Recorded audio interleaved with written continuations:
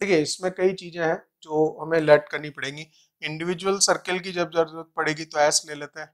X square plus Y square plus two G X plus two F Y plus equal to zero let S equal to zero ये circle हो जाएगा। Let एक और circle ले लेते हैं। X square plus Y square plus two G one X plus two F one Y plus C one equal to zero this is S one suppose मुझे एक और थर्ड एक और सर्कल की ज़रूरत पड़ेगी।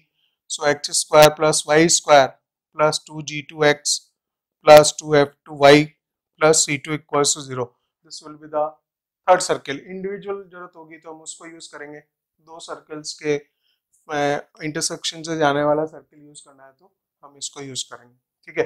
एंड एल लाइन ले लेते हैं। एक लाइन होगी L X plus M Y plus N equal to zero so अलग से अगर इसको लिखना है तो आप अलग से ऐसे भी लिखते हैं। एस इक्व टू ज़ीरो और एस की वैल्यू इसमें ये हो जाएगी। S one equal to zero S one और यहाँ इक्वल साइन यहाँ पे भी है और इधर भी है, ठीक है? So you can write the S one equal to zero is this circle and S two equal to zero आप इस सर्कल को लिखोगे S two equal to zero और ये लाइन अगर अलग से लिखना है सिंबॉलिक फॉर्म में तो आप इस तरह से लाइन लिखेंगे L equal to zero and this you can also write the L X plus M Y plus N equal to zero वो भी लिखते ही है। ठीक है? तो इस तरह से लिख देंगे।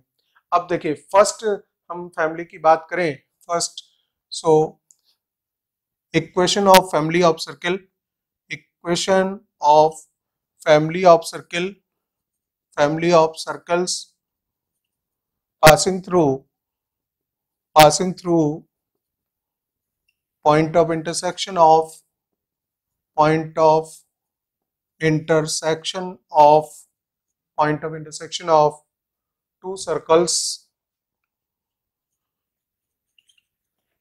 two circles s1 equals to 0 and s2 equals to 0 given by given by and this is given by the s1 and plus lambda s2 equals to 0.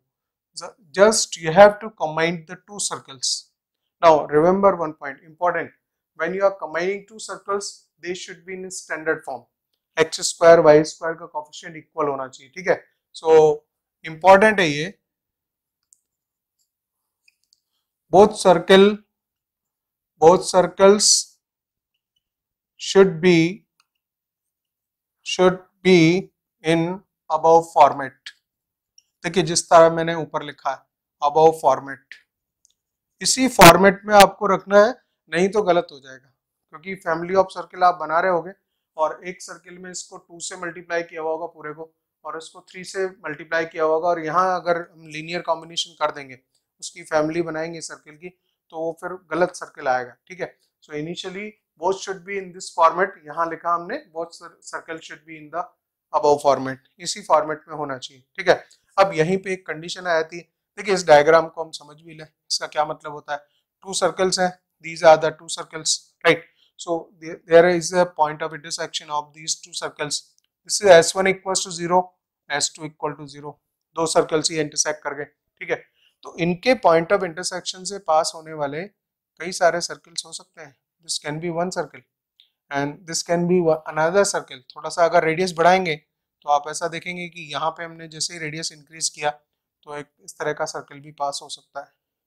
This side also when you increase the radius this can be there ये हो सकता है। And this can be there right and this can be there it can be many circles passing through the point of intersection of two circles तो उसके point of intersection से जाने वाले कई सारे सर्कल की पॉसिबिलिटी बनती है। ठीक है ना? यहाँ पे where lambda is not equal to minus one lambda is not equal to minus one ठीक है? Lambda की कंडीशन है कि lambda माइनस वन नहीं होगा। नाउ इसी में हम कंडीशन लगाते हैं suppose lambda equals to one तब क्या होगा? ठीक है ना? सो so, वही चीज़ लिखता हूँ मैं।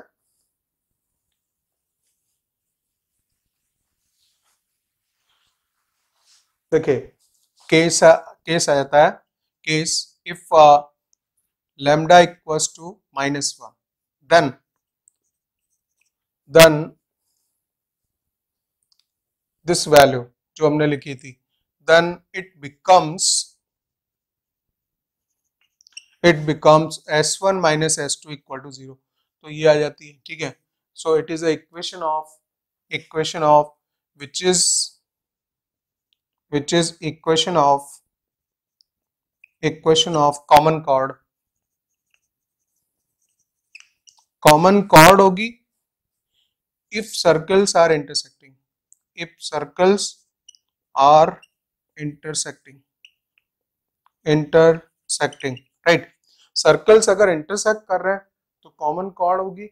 Otherwise we can say the radical axis also जो कि हमने इससे प्रीवियस कॉन्सेप्ट में समझा था कि हम उसको रेडिकल एक्सिस भी तो बोल ही सकते हैं, ठीक है ना? So also it is also radical axis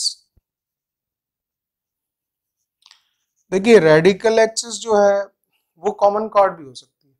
अब उसके दोनों नाम है रेडिकल एक्सिस जनरल नाम है रेडिकल एक्सिस जनरल नाम है।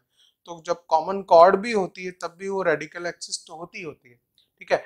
आ, लेकिन स्पेशली जब दो सर्कल्स इंटरसेक्ट नहीं कर रहे होते हैं तब हम उसके लिए रेडिकल एक्सिस जब वर्ड बोलते हैं तो वो हमें पता होता है कि वो स्ट्रेट लाइन है ठीक है?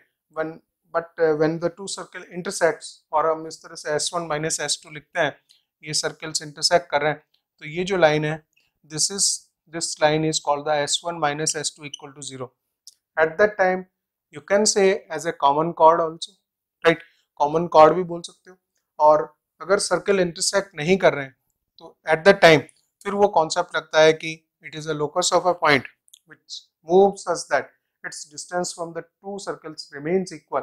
So, this equation is also same as the s1 minus s2 equal to 0. वो भी वही चीज़ होती है ठीक है ना?